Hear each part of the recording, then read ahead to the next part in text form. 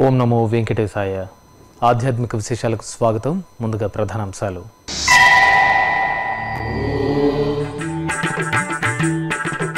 TTD online lucky డిప్కు ఒక email ఐడిపై ఒకే రిజిస్ట్రేషన్. డైలివర్ యువర్ ఈవోలో అనిల్ కుమార్ సింఘాల్ విస్పష్ట ప్రకటన.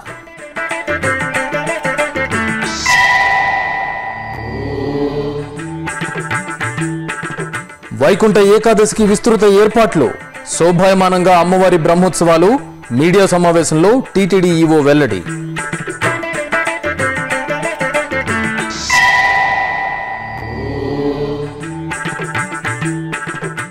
తిరుపతి కోదండరామాలయంలో కోయిలాళ్వార్ తిరుమంజనం దీపావళి ఆస్థానానికి ఘనంగా ఆలయ శుద్ధి. తిరుమలలోని అన్నమయ భవన్లో శుక్రవారం ఉదయం డైలీ ఓవర్ ఈవో కార్యక్రమం జరిగింది. భక్తులు తాము తిరుమల యాత్రలో ఎదుర్కొన్న సమస్యలను గాని శ్రీవారి దర్శనం ఆర్జిత సేవ వసతి తదితర విషయాల్లో తమ సూచనలను అందించేందుకు ప్రతి నెల మొదటి శుక్రవారం టీటీడీ డైలీ ఓవర్ ఈవో కార్యక్రమాన్ని నిర్వహిస్తున్న విషయం విదితమే. ఈ సందర్భంగా దేశవ్యాప్తంగా పలు ప్రాంతాల నుంచి భక్తులు ఫోన్ చేసి వెల్లడించిన సమస్యలను సూచనలను ఈవో అనిల్ కుమార్ సింఘాల్ స్వీకరించి వారి సందేహాలను నివృత్తి చేశారు. టీటీడీ ఆన్లైన్ లక్కీ డిప్ సేవలకు ఒక ఈమెయిల్ ఐడి ఒక రిజిస్ట్రేషన్కు మాత్రమే అవకాశం కల్పిస్తున్నట్టు టీటీడీ ఈవో అనిల్ కుమార్ సింఘాల్ వెల్లడించారు. తిరుమలలో శుక్రవారం ఉదయం జరిగిన డైలీ యువర్ ఈవో కార్యక్రమంలో భక్తులు అడిగిన సందేహాలకు టీటీడీ ఈవో సమాధానాలిచ్చారు ఈ సందర్భంగా లక్కీ డిప్ విధానంలో ఒక మెయిల్ ఐడి లేదా ఒక ఫోన్ నంబర్పై ఒక రిజిస్ట్రేషన్కు మాత్రమే అవకాశం కల్పిస్తున్నామని దీని ద్వారా అవకతవకలను నియంత్రించడానికి వీలవుతుందని భావిస్తున్నామని ఈవో తెలిపారు. ఇక మొత్తం ఇరవై ఐదు మంది భక్తులు టీటీడీ ఈవో అనిల్ కుమార్ సింఘాల్తో నేరుగా టెలిఫోన్ ద్వారా తమ సూచనలు సలహాలు అందించారు. ఈ టెలిఫోన్స్ కాల్స్ సారాంశాన్ని పరిశీలిస్తే శ్రీవారి కళ్యాణోత్సవంలో కుటుంబ సభ్యులను అనుమతించడం వైకుంఠ ద్వాదశి టికెట్లు తదితర అంశాలపై టీటీడీ ఈవోను ఫోన్ ద్వారా సంప్రదించారు. ఈ మేరకు భక్తులందరికీ టీటీడీ ఈవో అనిల్ కుమార్ సింఘాల్ సంతృప్తికరమైన సమాధానాలిచ్చారు అలాగే ఎస్వి భక్తి ఛానల్లో విష్ణు సహస్రనామ పారాయణం సాయంత్రం వేళ కూడా ప్రసారం చేయాలని షష్టిపూర్తి కార్యక్రమాన్ని తిరిగి ప్రారంభించాలని భక్తులు కోరారు. ఈ పద్మావతి దేవాలయంలో ఏదైతే మనం డిసెంబర్ నాలుగు నుంచి పన్నెండో తేదీ వరకు కార్తీక బ్రహ్మోత్సవాలు జరుగుతున్నాయి. దాని గురించి విస్తృతంగా ఏర్పాట్లు చేస్తున్నాం. ముఖ్యంగా ఇప్పుడు మీకు తెలుసు డిసెంబర్ పన్నెండున ఈ పంచమి తీర్థం రోజు చాలా ఎక్కువ మంది భక్తులు వచ్చి అక్కడ స్నానం చేయడం సో దానికి బ్రహ్మాండంగా ఏర్పాట్లు చేసుకుంటున్నారు. ఇప్పటికే రెండు మూడు సారి సమావేశాలు తీసుకుని ఏర్పాటు చేసుకున్నాం. డీటెయిల్డ్గా దీనికి ప్లానింగ్ జరుగుతూ ఉంది. ఎక్కడ కూడా వస్తున్నటువంటి భక్తులకి ఇబ్బంది లేకుండా ఈ ఏర్పాట్లన్నీ చేసుకుంటున్నాం. లాస్ట్ ఇయర్ వైకుంఠ ఏకాదశిలో మనం ఆ క్యూ లైను బయట ఏదైతే థర్డ్ ఫేజ్ రింగ్ రోడ్ ఉంది అటువైపు తీసుకుపోవడము కాస్త భక్తులందరూ కూడా చివరి ఎండ్లో ఇబ్బంది పడ్డారు. అదేవిధంగా క్యూ లైన్లో కూడా కొంత చలికాలం వల్ల ఇబ్బంది పడ్డారు. ఎటువంటి ఎక్స్పీరియన్స్ దృష్ట్యా ఈసారి మనము మాడా వీధుల్లో మంచి షర్ట్స్ ఇవన్నీ ఏర్పాటు చేసుకొని భక్తులు అందరూ కూడా కొంత ఏమో నారాయణగిరి గార్డెన్స్ కొంతమంది ఏమో ఈ మాడా వీధుల్లో ఉంటే బాగుంటుందనే ఉద్దేశంతో మనం డీటెయిల్డ్గా ప్లానింగ్ చేసుకుని జరుగుతుంది. ఆ మాడా స్ట్రీట్లో ఉన్న కెపాసిటీ వీలైనంత వరకు అంటే దాదాపు sixty five seventy percent of Mada street అవకాశం ఉంటుంది మనకి. ఆ మొత్తం కూడా మనం షెడ్స్ వేసి అక్కడ ఎక్కడ కూడా భక్తులకు ఇబ్బంది లేకుండా మళ్ళీ అక్కడ మంచినీళ్ళు అదేవిధంగా ఫుడ్ అరేంజ్మెంట్స్ అక్కడ అన్ని టాయిలెట్స్ అన్ని అందుబాటులో ఉన్నాయి కాబట్టి ఇవంతా కూడా ప్లాన్ చేశాం. వైకుంఠ ఏకాదశి లోపల ఇవన్నీ పనులు పూర్తి చేసి ఎక్కడ కూడా ఇబ్బంది లేకుండా ఈసారి వైకుంఠ ఏకాదశి దర్శనం కల్పించాలని ప్లానింగ్లో మనం లాస్ట్ టైం ప్రకటించాం. దట్ నెక్స్ట్ మంత్ నుంచి ఒకే ఈమెయిల్ ఐడి మీద ఒకే ఫోన్ నెంబర్ మీద మల్టిపల్ రిజిస్ట్రేషన్స్ మేము రెస్ట్రిక్ట్ చేయబోతున్నామని అయితే ఈ అప్లికేషన్లో కావాల్సినటువంటి మోడిఫికేషన్స్ పూర్తి చేశాం. దానివల్ల ఇవాళ జరిగేటువంటి రిజిస్ట్రేషన్స్లో ఒకే ఈమెయిల్ ఐడి ఒక ఫోన్ నెంబర్తో ఒకటే రిజిస్ట్రేషన్ సాధ్యమవుతుంది. ఎందుకంటే ఇప్పుడు వరకు ఏదైతే విజిలెన్స్ డిపార్ట్మెంట్ చేసినటువంటి ఎంక్వైరీలు ఉన్నాయో నాలుగు ఐదు కేసెస్ ఏదైతే మనం క్రిమినల్ కేసెస్ కూడా పెట్టాం డీటెయిల్డ్గా ఇన్వెస్టిగేషన్ చేశాం అవన్నీ ఒకే ఈమెయిల్ ఐడియో లేకపోతే ఒకే ఫోన్ నెంబర్ మీద వందలాది రిజిస్ట్రేషన్స్ చేయడం వల్ల సాధ్యమైంది. అది రిస్ట్రిక్ట్ చేయాలనే ఉద్దేశంతో ఇప్పుడు ఈ- ఈ నెల మనం ఒకటే ఈమెయిల్ ఒకటే ఫోన్ నెంబర్ మీద ఒక రిజిస్ట్రేషన్ మాత్రం పర్మిట్ చేస్తున్నాం. అవకాశం ఉన్నప్పుడు రెండు రోజులు అదనపుగా వృద్ధులు దివ్యాంగులకి టోకన్స్ కేటాయించాలి అనేది కార్యక్రమం ప్రారంభించుకున్నాం అయితే ఈ నెల ఇప్పుడు మీకు తెలుసు కొంత రద్దీ అంత విపరీతంగా లేదు కాబట్టి అవకాశం ఉన్నట్టుంది సో నవంబరు ఇరవై ఇరవై ఏడు తేదీలో వృద్ధులు దివ్యాంగులకి మనం ఈ నాలుగు వేలు టోకన్స్ కేటాయించడం. అదేవిధంగా నవంబర్ ఇరవై ఒకటి ఇరవై ఎనిమిది తేదీ ఐదు సంవత్సరాల వయసు లోపల ఉన్నటువంటి పిల్లలు వాళ్ళ తల్లిదండ్రులకి సుపదం ద్వారా ఎంట్రీ కల్పిస్తున్నాం. అదేవిధంగా ఇప్పుడు ఈ మనం గుడి కార్యక్రమం. నవంబర్ ఇరవై నుంచి ఇరవై మూడో తేదీ వరకు ఈ మన గుడి కార్యక్రమం వైభవంగా నిర్వహించడానికి తిరుపతి జయవారి ఆధ్వర్యంలో ఏర్పాట్లన్నీ పూర్తి చేశారు.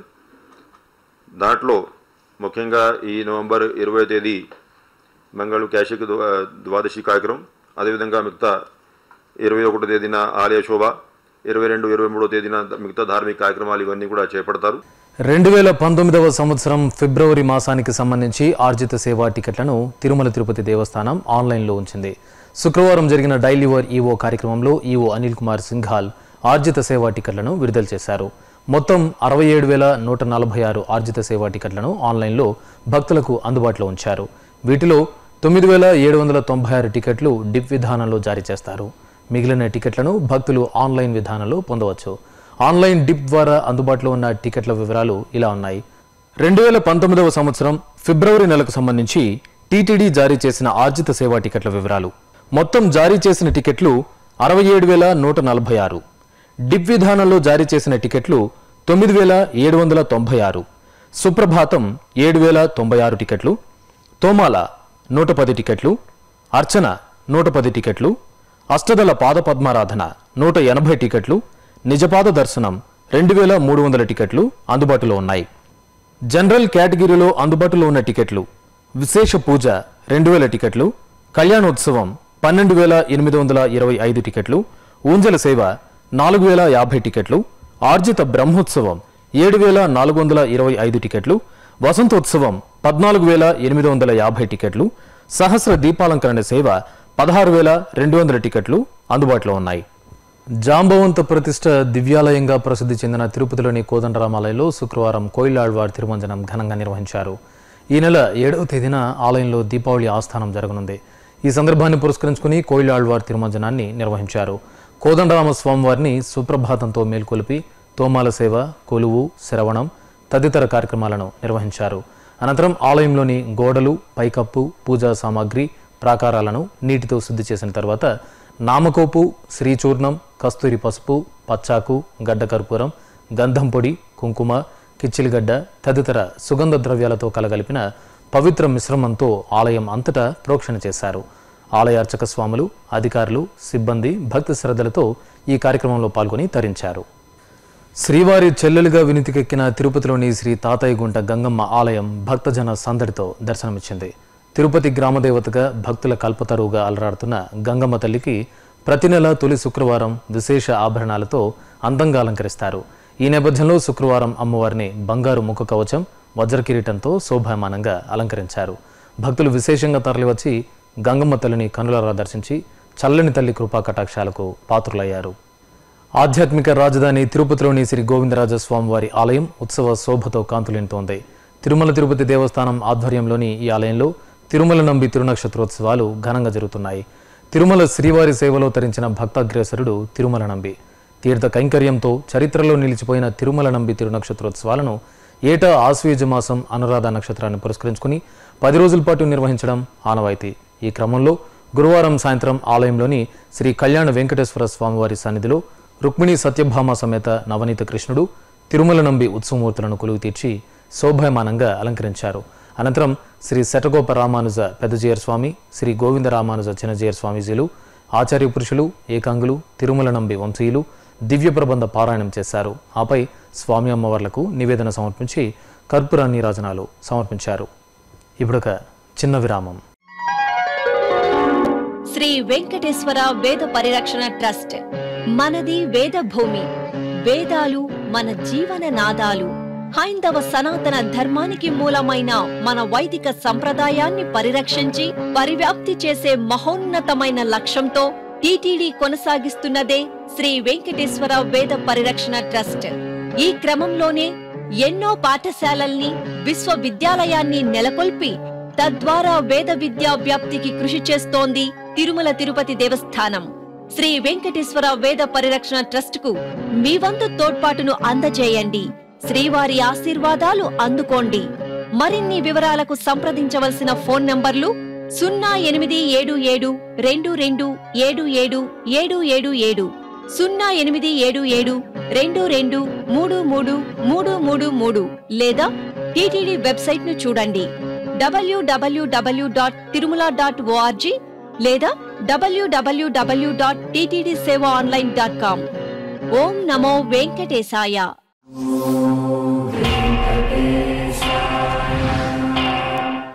ఆధ్యాత్మిక విశేషాలకు తిరిగి స్వాగతం. అనంతపురం నగరంలోని శ్రీ అనఘా సమేత దత్తాత్రేయ స్వామి వారి ఆలయంలో అనఘాష్టమి వ్రతాన్ని భక్తి శ్రద్ధలతో నిర్వహించారు. ఆశ్వయుజ మాసం అష్టమి సందర్భంగా నిర్వహించిన అనఘా వ్రతంలో భక్తులు విశేషంగా పాల్గొన్నారు. ముందుగా స్వామి అమ్మవార్లకు సుగంధ పరిమళ ద్రవ్యాలతో అభిషేకం చేశారు. తర్వాత వివిధ రకాల ఆభరణాలు సుగంధ పుష్పాలతో సర్వాంగ సుందరంగా అలంకరించారు. ఆలయ ఆవరణలో ప్రత్యేకంగా ఏర్పాటు చేసిన వేదికపై ఉత్సవమూర్తులను వేంచేపు చేశారు. భక్తులు స్వామి అమ్మవార్ల ముందు బారులు తీరి అర్చక స్వాముల సూచనల మేరకు అనఘాష్టమి వ్రతాన్ని ఆచరించారు. గుంటూరు జిల్లా వ్యాప్తంగా పలు ఆలయాల్లో ఆశ్వీజ మాసోత్సవాలు వేడుకగా జరిగాయి. ఈ సందర్భంగా స్వామివార్లకు నిర్వహించిన ప్రత్యేక సేవలు భక్తులకు ఆధ్యాత్మిక ఆనందాన్ని అందించాయి. ఆ విశేషాలు మీకోసం. గుంటూరు జిల్లా పొన్నూరులో కొలువైన శ్రీ ఆంజనేయ స్వామివారి ఆలయంలో రామబంటుకు ప్రత్యేక పూజాధికాలు కనుల పండుగ జరిగాయి. విశాలమైన ఆవరణలో నెలవైన ఈ ఆలయంలో అంజనీసుతుడు భక్తజన బాంధవుడిగా విలసిల్లుతున్నాడు.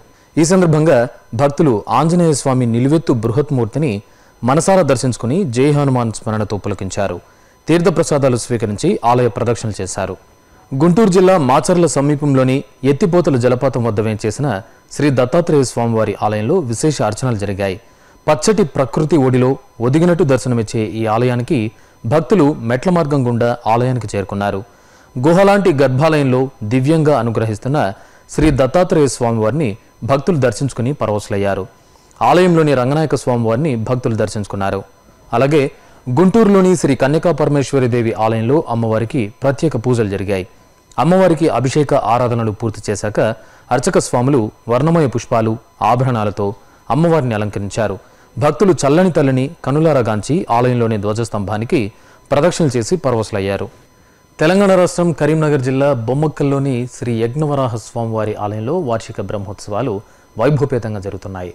ఉత్సవాల్లో ఐదవ రోజున స్వామివారి గజవాహన సేవ జరిగింది. ముందుగా స్వామివారికి షోడశోపచారాలను పూర్తి చేశారు. తర్వాత సకల ఆభరణ శోభితంగా అలంకరించి గజవాహనంపై ఆశీనులను చేశారు. మేళతాళాలు మంగళ వాయిద్యాల నడుమ ఆలయ మాడవీధుల్లో స్వామివారు గజవాహనంపై ఊరేగుతూ భక్తులకు దర్శనమిచ్చారు. అలాగే రాజన్న సిరిసిల్ల జిల్లా వేములవాడ శ్రీ రాజరాజేశ్వర స్వామివారి ఆలయంలో స్వామివారికి పంచామృతాభిషేకం భస్మాభిషేకం జరిగింది.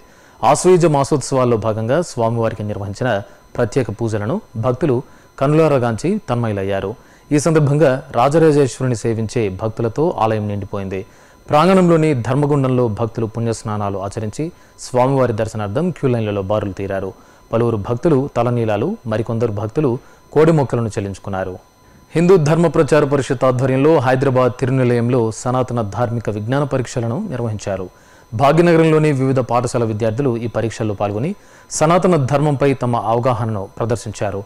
ఈ పరీక్షల్లో ఉత్తీర్ణులైన విద్యార్థులకు అధికారులు యోగ్యతా పత్రాలను ప్రదానం చేశారు. ప్రకాశం జిల్లా ఒంగోలులోని శ్రీ సత్యనారాయణ స్వామివారి ఆలయంలో అభిషేకం జరిగింది. ఆశ్వయుజ మాసోత్సవాల్లో భాగంగా శ్రీ రామ సమేత సత్యనారాయణ స్వామివారికి అలాగే ఆలయంలోని శ్రీ లక్ష్మీ నృసింహస్వామివారికి శ్రీ పంచముఖ ఆంజనేయ స్వామివారికి శ్రీచక్రానికి పంచామృతాలు విశేష సుగంధ ద్రవ్యాలతో అభిషేకాన్ని నేత్రపర్వంగా నిర్వహించారు.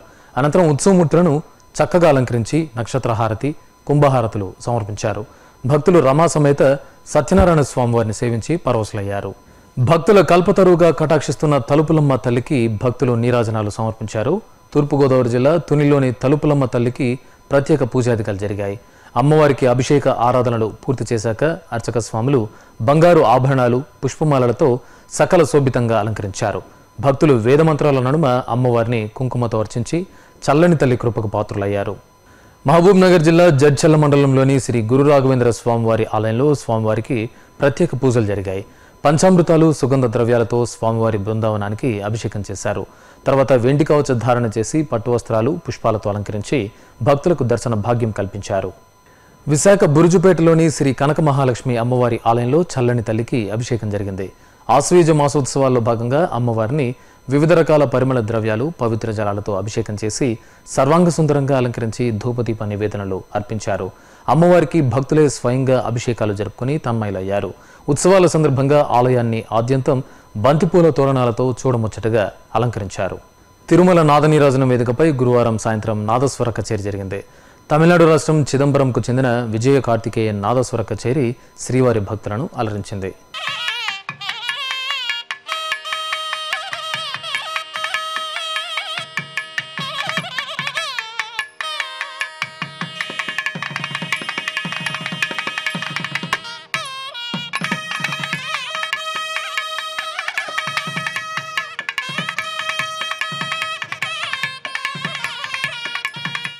తిరుమలలో శ్రీవారి దర్శనం వాతావరణం తదితర విశేషాలను ఇప్పుడు తిరుమల సమాచారంలో తెలుసుకుందాం.